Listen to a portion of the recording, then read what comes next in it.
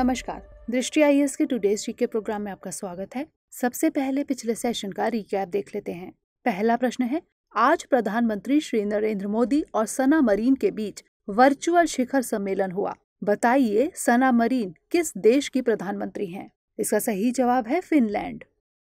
अगला प्रश्न है, हाल ही में जानी मानी शख्सियत गुरु चेमान चेरी कुन्ही रमन नायर का निधन हो गया। बताइए, उनका संबंध किस क्षेत्र से था? इसका सही जवाब है नृत्य। अगला प्रश्न है, खबरों में रहा पोर्ट अंजुआन किस देश में स्थित है? इसका सही जवाब है कोमोरोस। अगला प्रश्न है, प्रोजेक्ट रीहैब की शुरुआत किसके द्वारा की गई है? इसका सही जवाब है खादी और ग्राम उद्योग आयोग। अगला प्रश्न है 2020 का साहित्य अकादमी पुरस्कार पाने वाले निम्नलिखित में बिहार के कौन से साहित्यकार हैं? इसका सही जवाब है उपर्युक्त सभी। अगला प्रश्न है नेशनल हेल्पलाइन फॉर चिल्ड्रन को अब किस मंत्रालय के प्रशासनिक नियंत्रण में लाने की बात कही गई है? इसका सही जवाब है गृह मंत्रालय। अगला प्रश्न है, खबरों में रहे इंटर पार्लियामेंट्री यूनियन का मुख्यालय कहाँ है? इसका सही जवाब है जेनेवा। अगला प्रश्न है, निम्नलिखित में से किसने अंतर्राष्ट्रीय सौर गठबंधन के महानिदेशक का पदभार संभाला? इसका सही जवाब है अजय माथुर। अगला प्रश्न है हालिया सिपरी रिपोर्ट के मुताबिक, दुनिया का सबसे बड़ा हथियार आयातक देश कौन है? इसका सही जवाब है सऊदी अरब। अंतिम प्रश्न है, इंडिया कैम 2021 का आयोजन कहाँ किया जाएगा? इसका सही जवाब है नई दिल्ली। शुरुआत करते हैं आज के सेशन की। सबसे पहले देखेंगे अभ्यास प्रश्न। अक्सर चर्चा में रहने वाली दोई किस राज्य की योजना है? केरल, तमिलनाडु, असम या फिर आंध्र प्रदेश? इसका सही जवाब है ऑप्शन सी, असम। असम में विधानसभा चुनाव होने वाले हैं। इस राजनीतिक सरगर्मी के बीच असम की अरुणोदय योजना काफ़ी चर्चा में है। श्री सर्बानंद सोनोवाल की अगुवाई वाली असम सरकार ने पिछले साल दिसंबर में अरुणोदय योजना लॉन्च की थी। इस योजना के तहत असम में हाशिए पर रह रहे परिवारों की महिला प्रमुख को हर महीने 830 रुपए दिए जाते हैं। यह राशि सीधे खाते में ट्रांसफ़र की जाती है। असम की सरकार इस योजना को असम के इतिहास में अब तक की सबसे बड़ी डायरेक्ट बेनिफिट ट्रांसफ़र स्कीम बताती है। तो इस तरह इस प्रश्न का सही जवाब है ऑप्शन सी हमारे वीडियो अंग्रेज़ी में देखने के लिए फॉलो करें। हमारा ही दूसरा यूट्यूब चैनल दृष्टि आई इंग्लिश आज के सेशन का पहला प्रश्न है खबरों में रही एनर्जी स्वराज यात्रा की शुरुआत किसने की है? Doctor Rajiv Kumar professor Chetan Singh Solanki, doctor Rajesh Sinha या फिर मेधा पाटेकर। इसका सही जवाब option B, professor Chetan Singh Solanki. IIT Bombay के प्रोफेसर चेतन सिंह सोलंकी इन दिनों सुर्खियों में हैं। दरअसल, उन्होंने 11 वर्ष लंबी एनर्जी स्वराज यात्रा की शुरुआत की है। इस यात्रा का मकसद सोलर पावर के बारे में जागरूकता फैलाना एवं एनर्जी स्वराज को एक जन आंदोलन का रूप देना है। ग्यारह वर्ष की इस यात्रा को प्रोफेसर सोलंकी एक सोलर एनर्जी से चलने वाली बस, यानी सोलर बस से पूरी करेंगे। इस यात्रा को सोलरवास भी कहा गया है। Doctor Chetan Singh Solanki, energy Swaraj foundation के संस्थापक एवं मध्य प्रदेश के सोलर एनर्जी के ब्रांड एम्बेसडर भी हैं। तो इस तरह इस प्रश्न का सही जवाब ऑप्शन बी। अगला प्रश्न है medical termination of pregnancy amendment bill 2020 के तहत महिलाओं की कुछ विशेष श्रेणियों के लिए गर्भपात की अधिकतम सीमा कितनी कर दी गई है? 20 सप्ताह 22 सप्ताह 24 सप्ताह या फिर 25 सप्ताह? इसका सही जवाब ऑप्शन सी 24 सप्ताह। हाल ही में राज्यसभा में medical termination of pregnancy amendment bill 2020 pass हो गया। लोकसभा पिछले साल ही इसे पास कर चुकी है। इस बिल में गर्भावस्था के दौरान कुछ विशेष स्थितियों में 24 सप्ताह तक गर्भपात कराने की अनुमति दी गई है। इससे पहले यह सीमा 20 हफ़्ते की थी।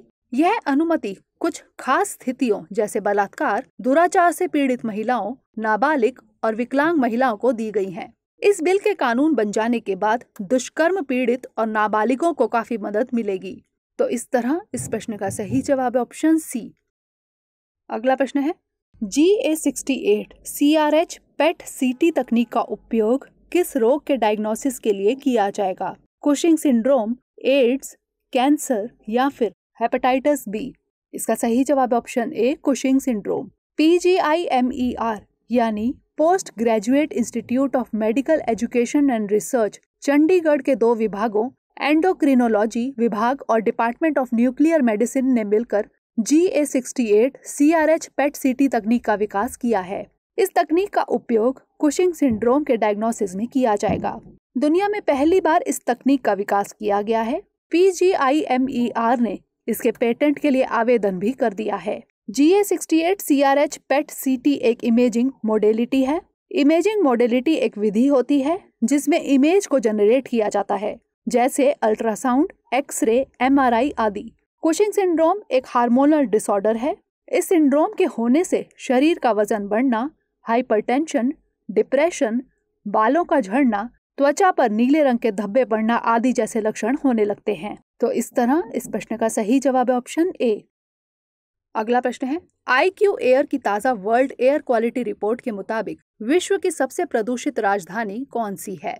इस्लामाबाद, ढाका, नई दिल्ली या फिर काठमांडू? इसका सही जवाब है ऑप्शन सी, नई दिल्ली। बीते दिनों आई क्यू एयर ने वर्ल्ड एयर क्वालिटी रिपोर्ट जारी की। इस रिपोर्ट के अनुसार, नई दिल्ली दुनिया की सबसे प्रदूषित राजधानी है। ढाका, बांग्लादेश और उलन बाटोर मंगोलिया क्रमशः दूसरी और तीसरी सबसे प्रदूषित राजधानी है। इस रिपोर्ट के मुताबिक 2020 में चुनिंदा 106 देशों में भारत दुनिया का तीसरा सबसे प्रदूषित देश है। पहले एवं दूसरे नंबर पर क्रमशः बांग्लादेश एवं पाकिस्तान है। इस रिपोर्ट के मुताबिक विश्व के शीर्ष 30 सबसे प्रदूषित शहरों में से 22 शहर भारत के हैं। आई क्यू एयर स्विट्जरलैंड की एक टेक्नोलॉजी कंपनी है। तो इस तरह इस प्रश्न का सही जवाब ऑप्शन सी। अगला प्रश्न है, मध्य प्रदेश के राज्य निर्वाचन आयोग ने नगरीय निकायों एवं त्रिस्तरीय पंचायतों के आम निर्वाचन 2021 के लिए किसे ब्रांड एम्बेसडर बनाया है? सुनीता चौहान, सारिका घारू, सुनिधि पाटिल या फिर श्वेता भदौरिया? इसका सही जवाब ऑप्शन बी सारिका घारू। मध्य प्रदेश के राज्य निर्वाचन आयोग ने नगरीय निकायों एवं त्रिस्तरीय पंचायतों के आम निर्वाचन 2021 के लिए सारिका घारू को ब्रांड एम्बेसडर बनाया है। उन्हें मतदाताओं को जागरूक करने के मकसद से ब्रांड एम्बेसडर बनाया गया है। सुश्री सारिका घारू, शासकीय उच्चतर माध्यमिक विद्यालय, सांडिया, पिपरिया जिला होशंगाबाद में अध्यापिका है। तो इस तरह इस प्रश्न का सही जवाब ऑप्शन बी अगला प्रश्न है। मध्य प्रदेश में बाल यौन शोषण की रोकथाम एवं पाक्सो अधिनियम पर वेबिनार सीरीज़ का आयोजन किसके द्वारा किया जा रहा है? राज्य के महिला एवं बाल विकास विभाग, राज्य के स्कूल शिक्षा विभाग, यूनिसेफ या फिर उपर्युक्त सभी? इसका सही जवाब ऑप्शन डी, उपर्युक्त सभी। मध्य प्रदेश में बाल यौन शोषण की रोकथाम एवं पाक्सो अधिनियम पर वेबिनार का आयोजन किया जा रहा है। वेबिनार सीरीज़ का आयोजन राज्य के महिला एवं बाल विकास विभाग, स्कूल शिक्षा विभाग एवं यूनिसेफ द्वारा किया जा रहा है। ये वेबिनार निम्नलिखित विषयों पर आयोजित किए जा रहे हैं। मध्य प्रदेश बाल संरक्षण नीति के प्रभावी क्रियान्वयन की दिशा में बच्चों एवं किशोरों के लैंगिक विकास एवं शोषण के प्रति दृष्टिकोण, बाल शोषण रोकने में शिक्षकों की भूमिका और शिक्षकों का दायित्व एवं भूमिका। तो इस तरह इस प्रश्न का सही जवाब है ऑप्शन डी। अगला प्रश्न है सेंट्रल रिज़र्व पुलिस फोर्स का महानिदेशक किसे नियुक्त किया गया है? कुलदीप सिंह एम ए गणपति, राजीव दीक्षित या फिर सौरभ सिन्हा? इसका सही जवाब option A Kuldeep Singh. Paschim Bangal cadre के 1986 बैच के आईपीएस अधिकारी कुलदीप सिंह को सीआरपीएफ यानी सेंट्रल रिज़र्व पुलिस फोर्स का महानिदेशक नियुक्त किया गया है। 30 सितंबर 2022 तक सीआरपीएफ के महानिदेशक के रूप में इनका कार्यकाल रहेगा। आपको बता दें कि नेशनल सिक्योरिटी गार्ड का महानिदेशक एम ए गणपति को नियुक्त किया गया है। तो इस तरह इस प्रश्न का सही जवाब ऑप्शन ए अगला प्रश्न है, हाल ही में world energy transition outlook report किसके द्वारा जारी की गई? विश्व आर्थिक मंच इंटरनेशनल रिन्यूएबल एनर्जी एजेंसी विश्व बैंक या फिर संयुक्त राष्ट्र पर्यावरण कार्यक्रम? इसका सही जवाब option B international renewable energy agency हाल ही में इरेना, यानी इंटरनेशनल रिन्यूएबल एनर्जी एजेंसी द्वारा world energy transition outlook report जारी की गई। इस रिपोर्ट के मुताबिक भविष्य में रिन्यूएबल पावर ग्रीन हाइड्रोजन एवं मॉडर्न बायो एनर्जी ऊर्जा के प्रमुख स्रोत होंगे। इस रिपोर्ट में कहा गया है कि कोविड 19 संकट ने देशों को रिन्यूएबल एनर्जी की तरफ़ शिफ्ट करने का एक बेहतर मौका दिया है। इसमें बताया गया है कि एनर्जी ट्रांजिशन के लिए तकनीक और नवाचार की ज़रूरत है। तो इस तरह इस प्रश्न का सही जवाब ऑप्शन बी। अगला प्रश्न है, उत्तर प्रदेश में आगामी पंचायत चुनाव में विभिन्न जातियों के लिए, सभी पदों पर आरक्षण के लिए किस वर्ष को बेस ईयर के रूप में माना जाएगा? उन्नीस सौ पचानवे, दो हज़ार दस 2015 या फिर 2019 इसका सही जवाब ऑप्शन सी 2015 उत्तर प्रदेश में आगामी पंचायत चुनाव में विभिन्न जातियों के लिए सभी पदों पर आरक्षण के लिए 2015 को बेस ईयर के रूप में माना जाएगा। मुख्यमंत्री योगी आदित्यनाथ की अध्यक्षता में राज्य कैबिनेट की बैठक में यह निर्णय लिया गया। इलाहाबाद हाई कोर्ट की लखनऊ बेंच ने यूपी सरकार के उस आदेश को खारिज कर दिया था, जिसमें पंचायत चुनावों के लिए पदों को आरक्षित करने के लिए उन्नीस को आधार वर्ष के रूप में माना गया था। इसके साथ ही अदालत ने 2015 के आधार पर आरक्षण प्रणाली को लागू कर पंचायत चुनाव कराने का निर्देश दिया था। उसके बाद राज्य कैबिनेट ने यह फैसला लिया है। तो इस तरह इस प्रश्न का सही जवाब ऑप्शन सी। अंतिम प्रश्न है, हाल ही में भोपाल में ऊर्जस्विता सम्मान समारोह 2021 का आयोजन किया गया। बताइए, सम्मान का संबंध निम्नलिखित में से किससे है? आदिवासी, दिव्यांग, महिलाएँ या फिर विद्यार्थी? इसका सही जवाब ऑप्शन सी, महिलाएँ। हाल ही में भोपाल में ऊर्ज स्विता सम्मान समारोह 2021 का आयोजन किया गया। इस समारोह को संस्कृति, पर्यटन एवं आध्यात्म मंत्री सुश्री उषा ठाकुर ने संबोधित किया। उन्होंने विभिन्न क्षेत्रों में उत्कृष्ट कार्य के लिए 16 महिलाओं को ऊर्ज स्विता सम्मान से सम्मानित किया। तो इस तरह इस प्रश्न का सही जवाब ऑप्शन सी। अब बारी है आज के अभ्यास प्रश्न की।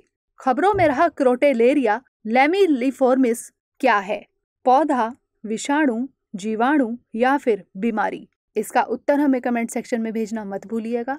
अगले सेशन में नए प्रश्नों के साथ मिलेंगे। तब तक के लिए पढ़ते रहिए एंड स्टे मोटिवेटेड